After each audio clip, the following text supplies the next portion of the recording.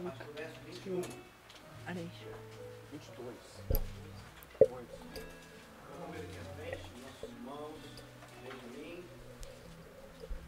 So I'm gonna invite uh, the brothers Benjamin and Marta, uh, the brother Joaquin, and the sister Isabella.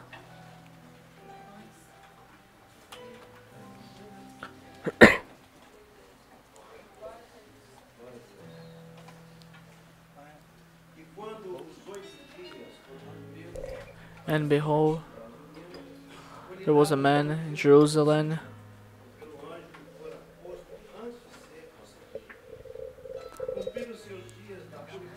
It's verse 27.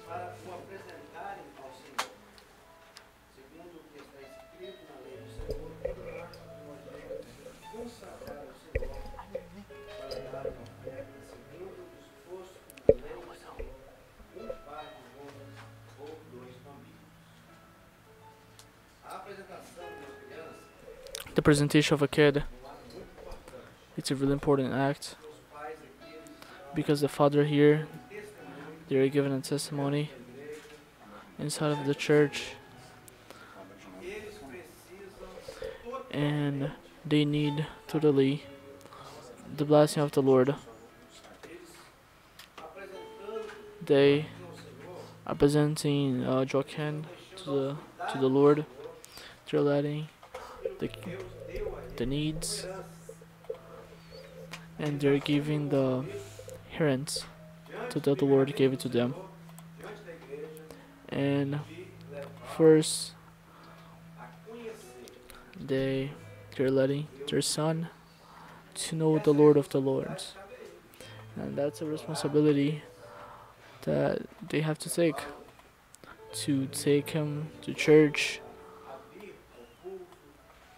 to bring them to the service, so they could have an experience with the Lord for them to know how good it is to serve our God. And we as church, we need to help with prayers, giving good examples, praying for them, and helping in whatever they need. As a church, brothers in Christ, and now they're adding. Amen. Let's pray for Joaquin. Let's close our eyes.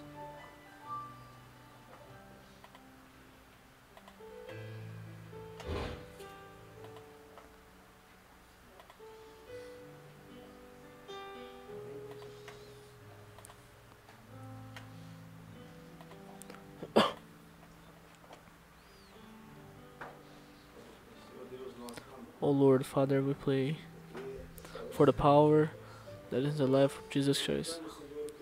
We ask, O Lord, in your name, for the life of Joaquin, as a victory given to this family. Lord, for the cares, for all the prayers that was answered, and for everything you have done for him so far and for the family. We ask, the Lord, that you could at this time put your hands on top of Joaquin. Oh Lord, we put him in your altar so you could go and take care of him. So you can send your angels to stay with him every instant. The Lord, the Father, could have the authority from the Lord to always be speaking about you, about your power and your glory.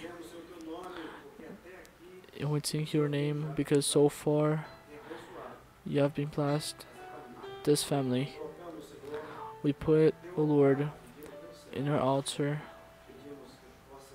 We ask the Lord that he could be blessed with all your glory so he could have remarkable experiences with the Lord, that he could know your voice, that he could, oh Lord, have the salvation, so he could choose to serve you, Lord.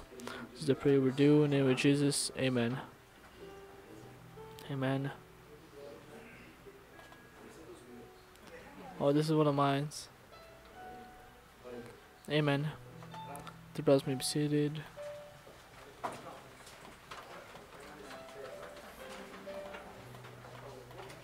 Let's sing a song.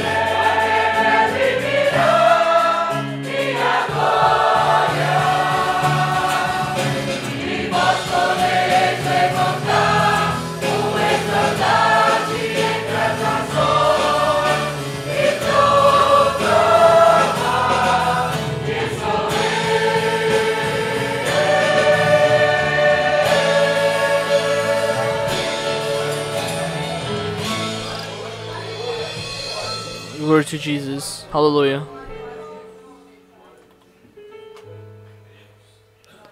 You wanna lead everyone, the kids, with the peace of the Lord. This word of the Lord for tonight it is in Second Luke, the book of Second Luke, capítulo 15, verse 15.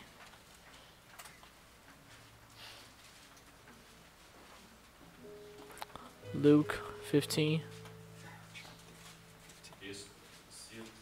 Luke chapter 15. It's a really well known text.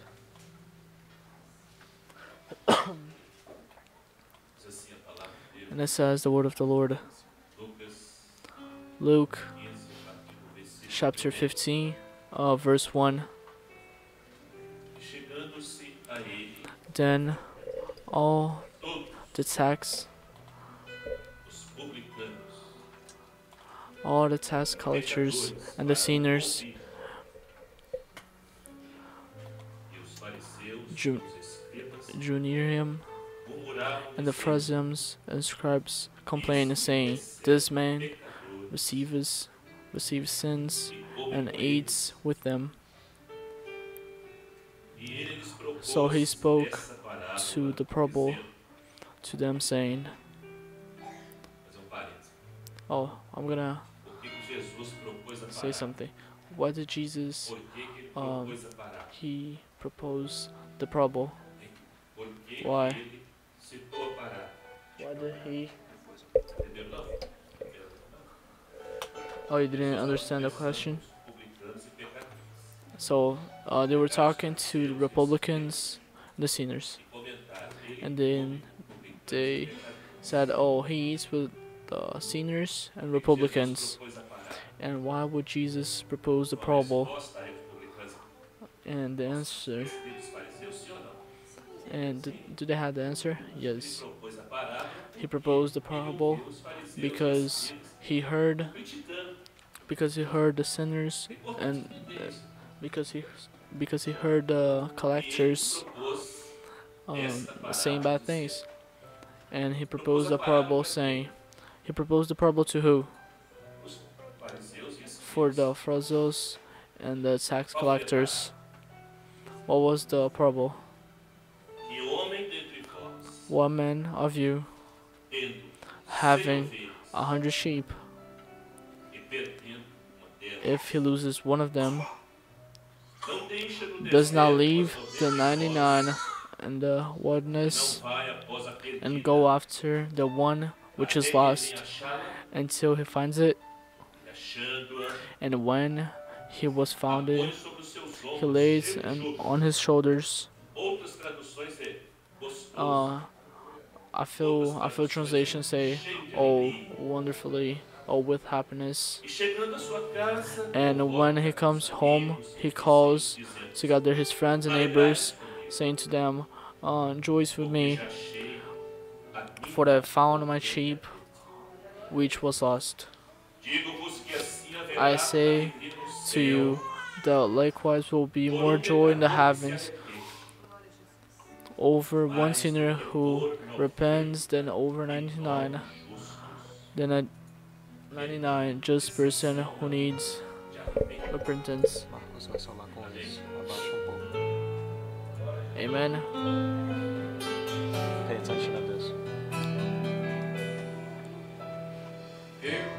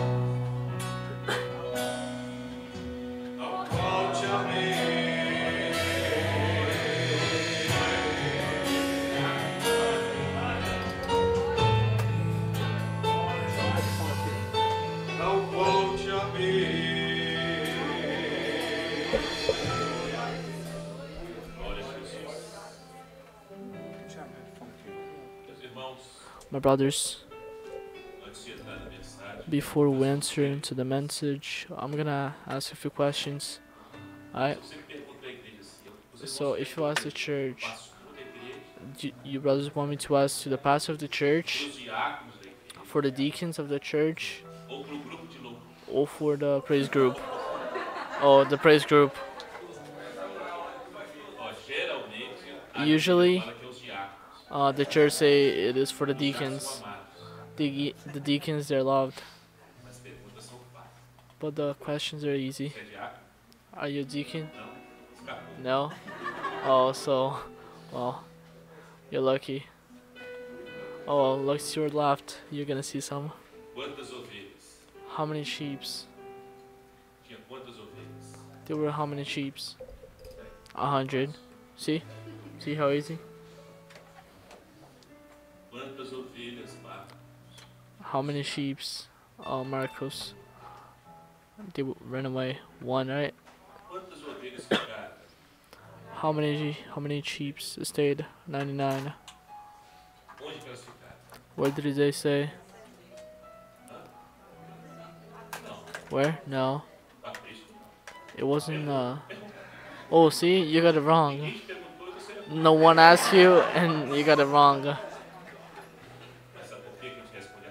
But do you know why we we say? Do you know why you said the sheep crowd? Because there's a song, but that doesn't doesn't go with the song. But no, they didn't leave the sheep uh, the sheep on the the, sh- the crowd. No, he left the desert. It is not only my translation. No, even even in the translation in Indian, not Indian, in English, they say on the wild wilderness. And why did he miss the one sheep? Easy questions, you know. Why did he miss the the one sheep? Because he counted. Because he counted the sheeps. The sheeps were counted in the end of the day. As ovelhas não eram contadas no início do The counts were not counted in the beginning of the day because they were, already there, you know. Mas no final do dia, But in the end of the day. Even today in Israel, it's still like this. conta as ovelhas. At the end of the day, they would go and count the sheeps. They would go counting 96, 97, 98, 99. Oh, it's missing one.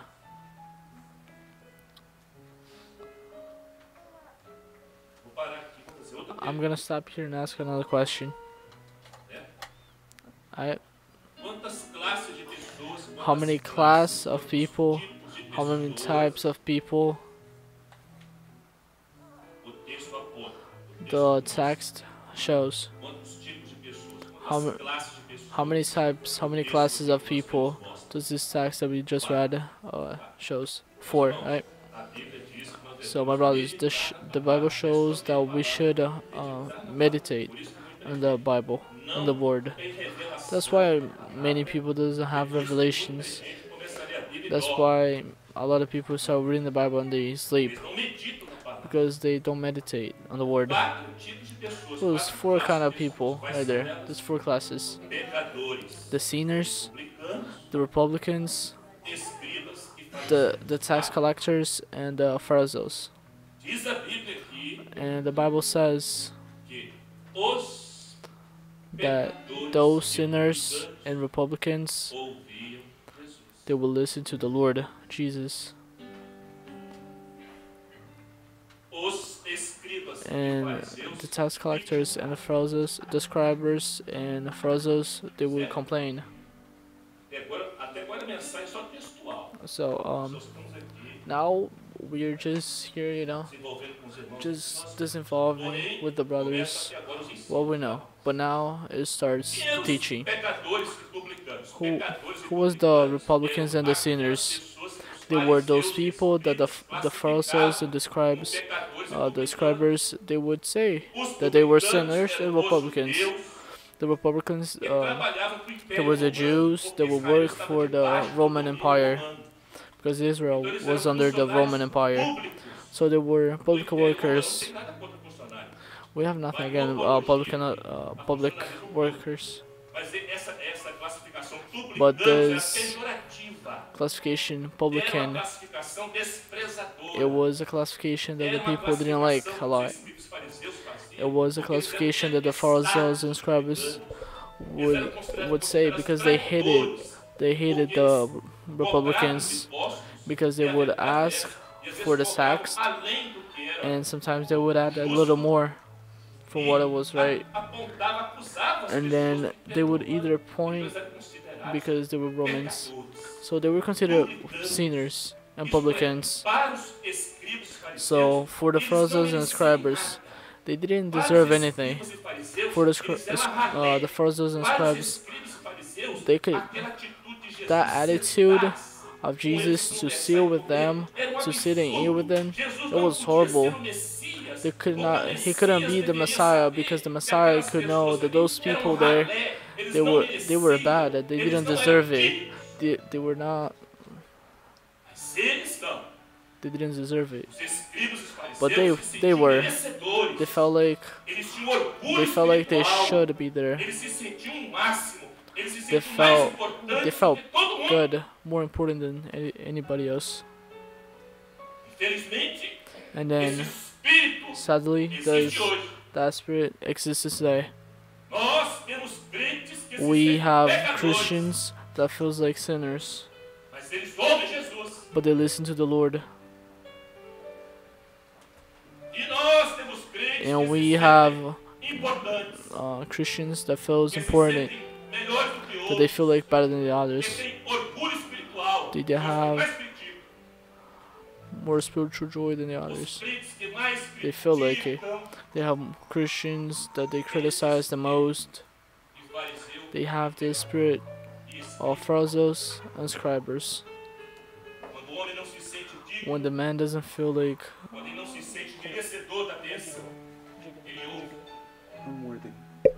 When when they doesn't feel like palavra, ele then they go and they give uh, dom they go for the word.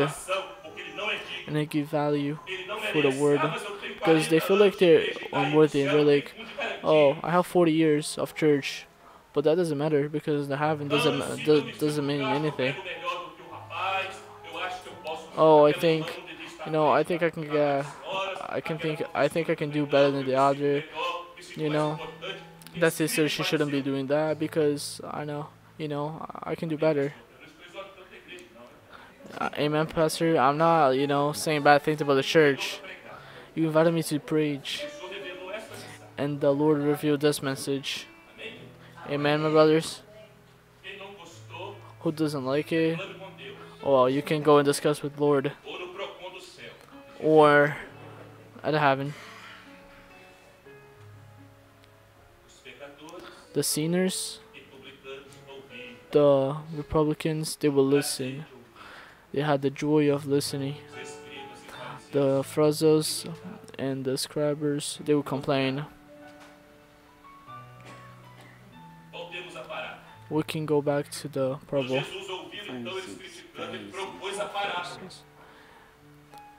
so the Lord Qual é o he was talking about the tem parable cem ovelhas? Então, presta atenção. Like, Ele diz que one man- one man having a hundred sheep era só o pastor das that man wasn't only a pastor of sheep Ele era o dono. he was the owner Ele era pastor. he was the pastor and owner Porque as ovelhas eram dele. because the sheep were says Qual é o homem que tendo cem ovelhas one man having a hundred sheep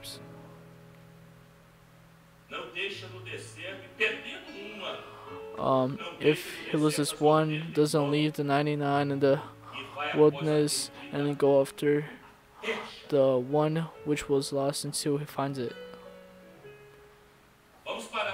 let's stop right here so let's imagine my brothers that people that read the Bible and they can imagine the things that Jesus said. Because Jesus right there, he used the easiest way to to express himself in the Bible. and they just discovered the last century that Jesus already used that language. For the logic, we can see that um, the gospel now is really commercial. So, what would it be easier to do? So, I have a hundred sheeps. One, um, I lost one, but I still have 99. So I'm gonna build a little place for them. So I'm gonna stay overnight with them. And then tomorrow morning, I'm gonna go try to find the lost one. But no, that wasn't what he did. He left the 99 the wilderness. And the people can ask, but he left, he left the 99? No, he didn't left. Because I can ask you, my brothers, who were the 99? And he answered the parable to who? Who was the parable to who? For the scribes and Pharisees. So the pastor, in the hardest time, in the desert, because my brothers, the, de the desert is really hot in the morning and really cold at night. And then, but it says that the pastor, he left at night. The dangerous time of the day, the coldest time in the desert. So he could go against everything in the desert. Go against the praise in the desert. He went after his sheep. And when he finds it, he says, I found. He doesn't say, I found the sheep. No, he says, I found my sheep. Glorified be the name of the Lord. Because it says here in the Bible that this pastor, he didn't give up. He went after the night, the cold, all the animals, all the dangers that could be out there, and he went after the sheep until he finds it. Until he could find it, he didn't give up. And I'm here praying tonight, my brothers. You are here sitting at this bench. The kids are here.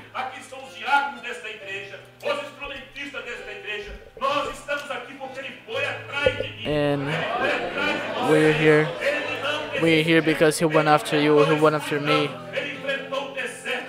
He went after the darkness. He went after death. He went after the enemy. And the love of Jesus never ends. The love of the Lord always finds those who are lost. The love of the Lord is not just our love. The people of people sometimes they get lost and they say, "Oh, there he goes that one that got lost. That one." And sometimes we always and sometimes that could happen. You can judge some people, but no. That's what he, that's not what you should do, and that's not what that pastor did. He didn't judge. He just went after it. I have to find it. I have to find it. My brother is this pastor. He's the owner of those sheep. The owner, it's him. He's the owner. I could not miss the sheep. The pastor Renita could not miss. But I'm talking about, I'm not talking about the pastor, I'm talking about myself too. Because, because we sometimes, we are not 100% right. But every night he counts this year. He counts every single one.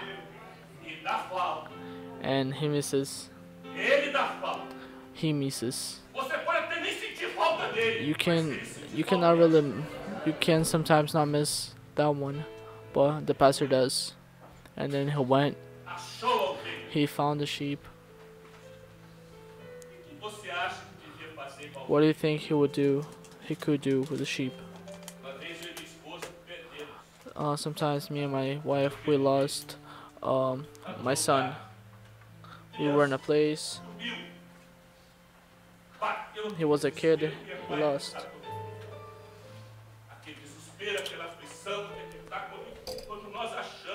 And there was the affliction, and then we went after him until we found it.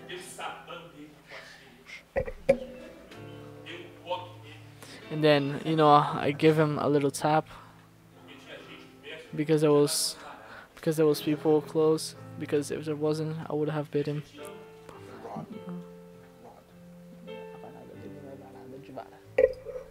Because we love.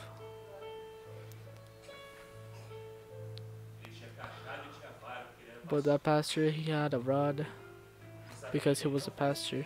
But he didn't hit the sheep. And he didn't say, Oh, sheep, you gave me a lot of trouble. I went through the desert. I got it. I went against the darkness, the cold, all the animals. I'm tired. I didn't eat. I didn't drink water just because of you. Oh, come here because you need you need a little saps. I know spanking. And, but that wasn't what he did. The Bible says he got the sheep. Where did he put the sheep, Marcos? It wasn't in his arms. No, he put it on his shoulders. Do you know how they used to put the sheep, the sheep on the the shoulder? They would put the the legs forward and the the head to the back so she could hear the beat of the heart. She could be weak. She could be cold. She could be sco- uh, scared, even dirty. But at that time, she was in the shoulders of the pastor. It wasn't the shoulders that he he walked with the cross. It was on the shoulders that he took my life. That he took my life and your life. His shoulders felt the pain of the cross. It felt the pain of the wood. How hard my sin was. If you're not if you're not a sen- senior, if you're holy, I don't know what you're doing here. You should be in heaven. But it was in his shoulders that he brought, and then he walked with the cross, and he got everything that we don't deserve it. He got with him. But the best place that he could be, it is in his shoulders. He put him in his shoulders, joyful. Oh, sheep, you got me in trouble. But now you're in my shoulders. You're in my arms. I'm gonna carry you. Oh, what's your name? Thiago. Alright, I'm gonna ask a question. Amen. Oh, your amen was without faith. Where did he take the sheep? It wasn't. Where? To his house.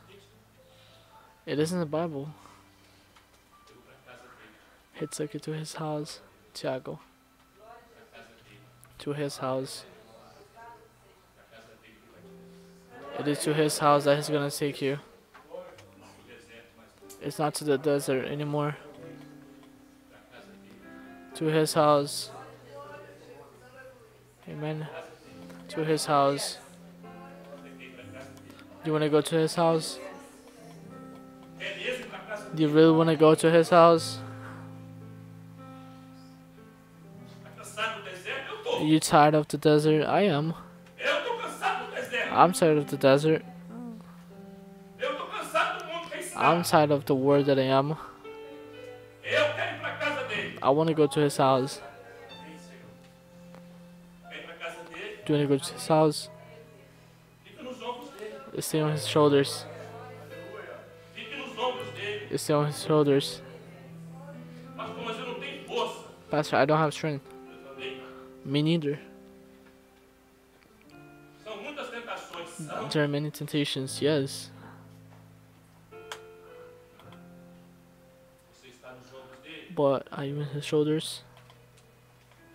Destino é certo. If you are, the ways, right? My brothers, I'm not gonna do this at the church of Pastor Nildo because some people could get mad.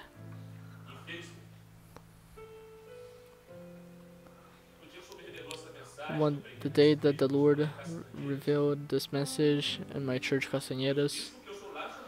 I did there because the Lord revealed. In the end, I stood up my hand and I asked the church, Who here are the, the lost sheeps? Who here are the old sheeps that was lost? No, it was in pode.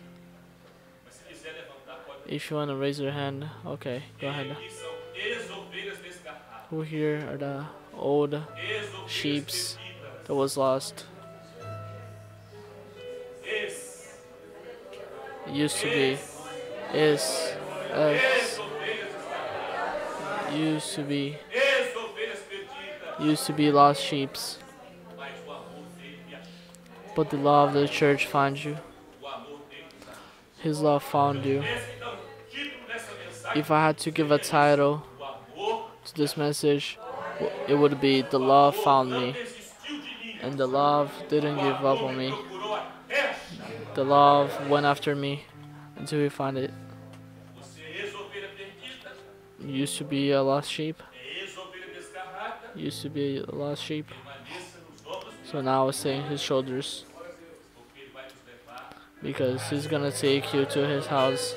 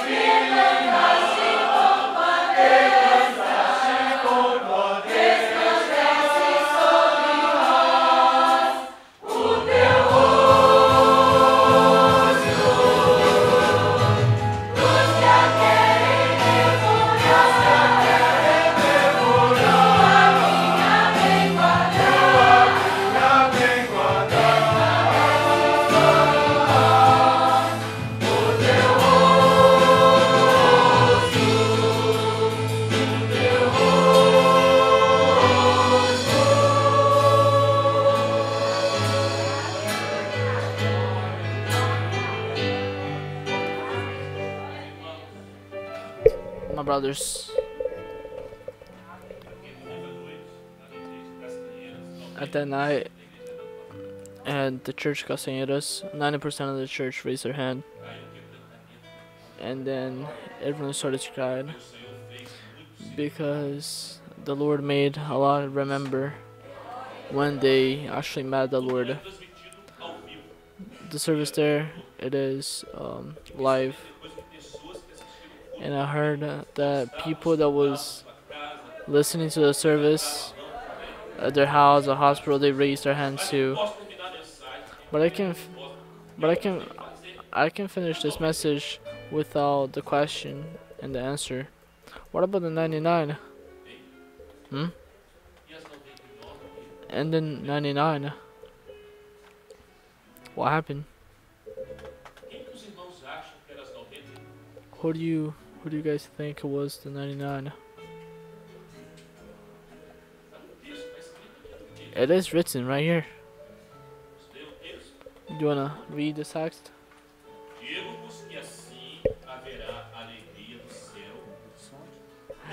And I say to you, likewise, likewise there will there will be more joy in the heaven over the sinner who represents over 99, just a person who needed to repentance. So, who the 99 represented? The sinners and the Republicans. And the 99 wa- was who? Oh no, that one was the sinners.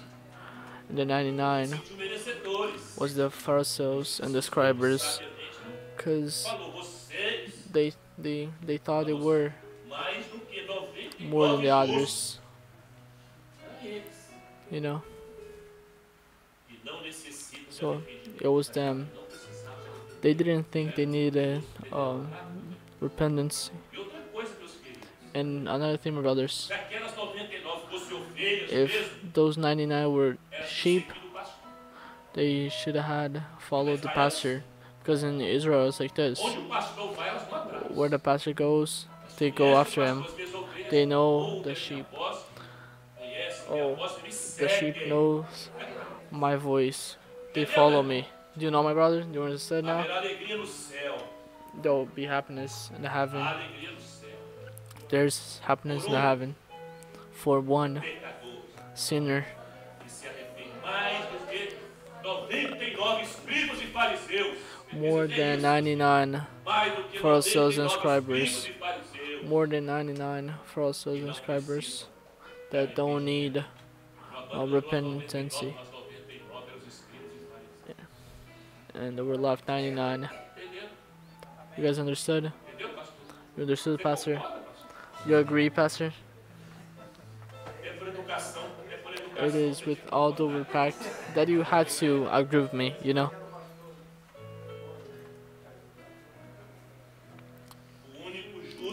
the only justice was him. He was the pastor and owner. He was the only one that had the right. He's the good pastor. He's the owner of the sheep.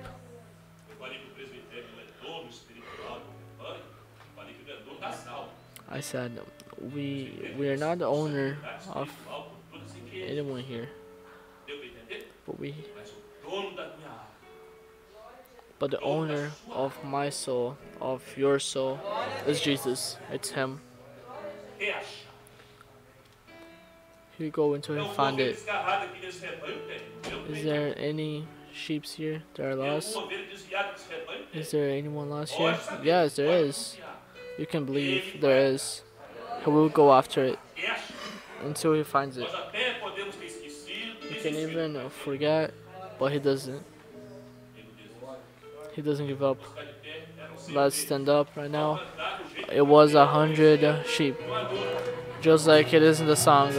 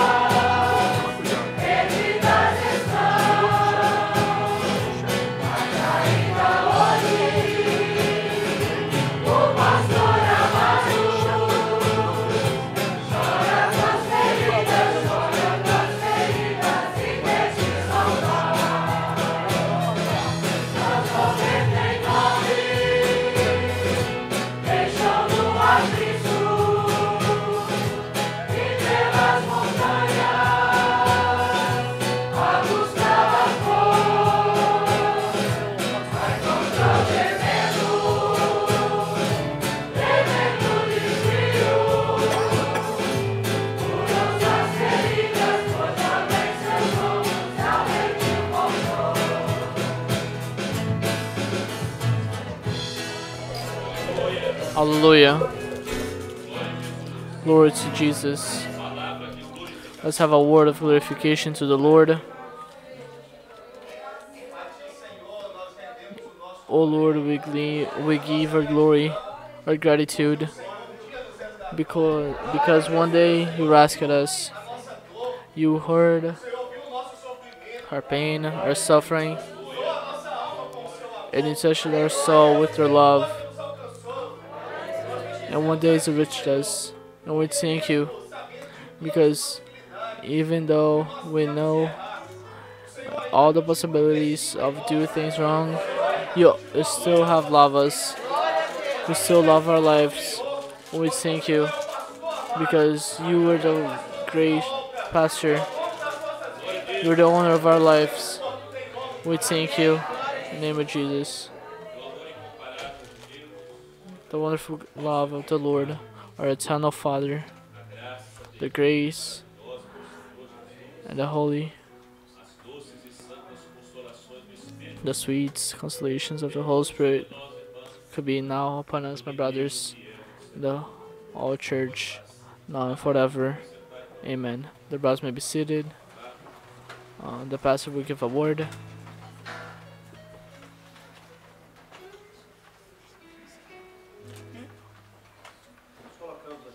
Um, we're here now, here to pray for those who once Remind the brothers that tomorrow at 9 we're gonna be all together at Port St. Lucie to spend the Lord in the presence of the Lord. Everyone already got their information, so we're not gonna have service here in the morning or either at night. We're gonna be in Port St. Lucie. Uh, peace the Lord to everyone.